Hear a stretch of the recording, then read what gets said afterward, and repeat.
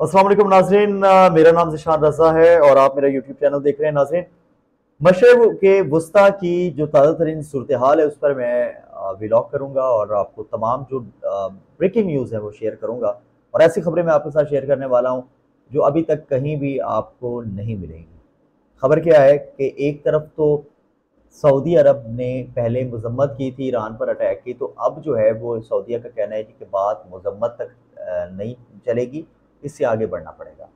अच्छा सऊदीया full Iran के साथ जो है वो कंधे से कंधा मिला के खड़ा हो गया। अच्छा दूसरा ये आपको बताऊँ कि अमेरिका जो है, उसने एक कदम पीछे रख लिया मतलब जहाँ इसराइल को सपोर्ट किया जा रहा था तो एक कदम बैक पर आ गया। इस पर भी बात करेंगे।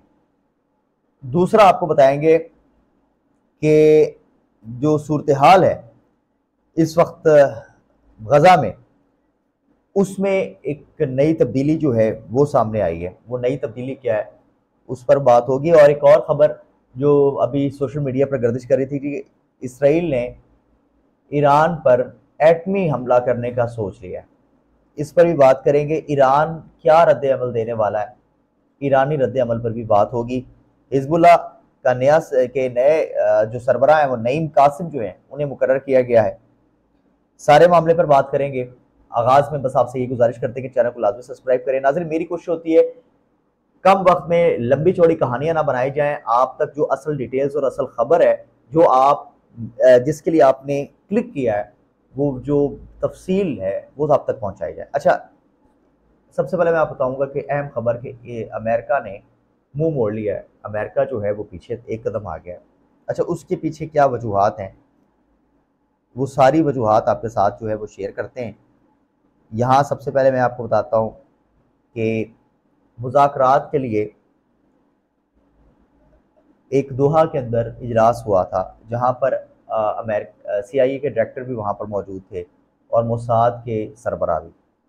अच्छा अमरीकी मीडिया जो है वो इसे रिपोर्ट कर रहा है कि अमरीकी सी आई ए के डायरेक्टर जो हैं, उन्होंने इसराइल और कतरी हुकाम से गुफ्तु में ये तजवीज़ पेश की है कि हमास की कैद से आठ जो यगमाल यगमाली हैं, उनको रिहाई के बदले में दर्जनों फ़लस्तनी रिहा करने की तजवीज़ पेश की गई है। यानी कि जो दर्जनों फ़लस्तनी मौजूद जो इसराइल की कैद में उनको रिहा किया जाएगा। और लबनान की वादी बका में इसराइल के हमलों में साठ शहरी जो हैं, वो शहीद हुए हैं, जबकि ज़ख्मी भी हुए हैं।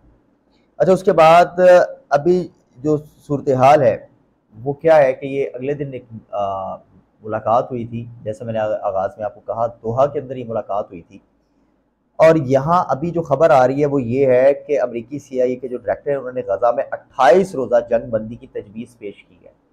जबकि इस सारे मामले पे इसराइल जो है, वो रजामंद नहीं है। इसराइल क्या कहता है कि वो जंग बंदी पर राज़ी नहीं है, लेकिन अमेरिका जंग बंदी पर जो है, वो राज़ी है कि अट्ठाईस रोज़ तक जंग बंदी की जाए। और अभी जो नई डेवलपमेंट वो सामने आई है चीज़ें सामने कुछ यूँ आ रही हैं कि लबनान के साथ जंग जो है वो इसराइल ख़त्म करने जा रहा है। लबनान के साथ जंग जो है वो ख़त्म करने जा रहा है। बातचीत जो है हमा, और हमास के साथ भी। यहाँ पे जो कुछ डिटेल्स है मैं आपके साथ शेयर करता हूँ कि रजामंदी जो है वो आहिस्ता आहिस्ता ज़ाहिर होती जा रही है। और फ़लस्तीन की मजामती तंजीम हमास के सीनियर रहनुमा जो हैं अबू यहाँ सामी अबू जर। वो ये कहते हैं कि इसराइल से जंगबंदी पर बातचीत के लिए रजामंदी ज़ाहिर उन्होंने कर दी है।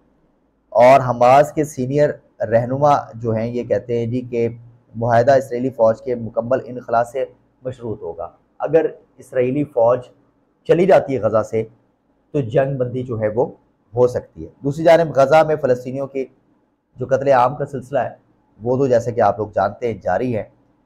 अब यहाँ पे लबनान के हवाले से भी खबर ये आ रही है कि इसराइल ये चाहता है कि लबनान से निकलना चाहता है। लबनान लबनानी फ़ौज जो है उसके साथ वो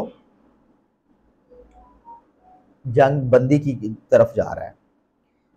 अच्छा यहाँ पे मैं आपको ये भी डिटेल्स आपके साथ शेयर करूँगा कि जैसे मैंने आगाज़ में आपके साथ कुछ चीज़ें शेयर की थी कि सऊदिया जो है उसने कहा है कि मजामती बयान से फ़लस्तनी इलाकों में इसराइली जारियत के लिए ये जो है वो रोकने के लिए नाकाफ़ी हैं। इससे आगे बढ़ के कुछ सोचना होगा। सऊदी वजी ख़ारजा जो हैं शहजाद फैसल बिन फरहान उन्होंने अकवा मुतहदा के आ, साथ बातचीत करते हुए कहा है कि सऊदी हुकूमत और अकवा मुतहदा के अहदेदार जो हैं इस इजलास में मौजूद थे। सऊदी अरब की जानब से बयान ये सामने आया है कि गज़ा पट्टी में जंग बंदी के लिए हर मुमकिन इकदाम से हरगिज़ पीछे नहीं हटेंगे।